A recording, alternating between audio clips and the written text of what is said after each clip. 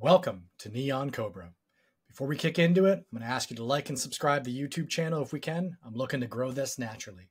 And with that, let's kick into it. All right, this has been a busy week. It's Microsoft Ignite, and they are releasing updates left and right. So I wanted to take a second to pause actually and talk about Azure Local, which I made a joke about it on LinkedIn. It's essentially a beefed up version of Azure Stack HCI.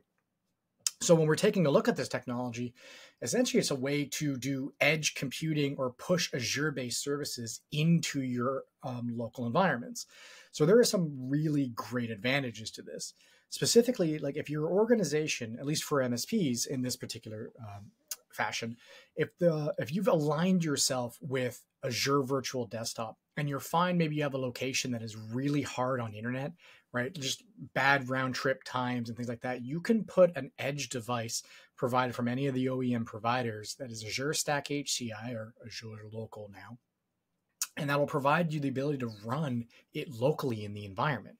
And it kind of does this cloud caching thing, which is really, really neat and provides you the ability to run AVD locally and still reference information and have it managed and accessed from within Azure itself. So this is great. And the consumption model that it kind of builds itself around is very lucrative around growing and bursting for requirements and scaling back in.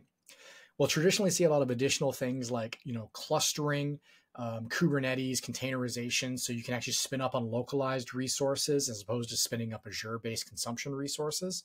And it just kind of uses the Azure Arc to facilitate communication and management all the way through.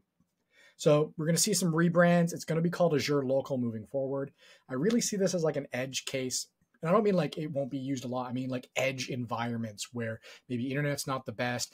You need to extend overall reliability and kind of productivity.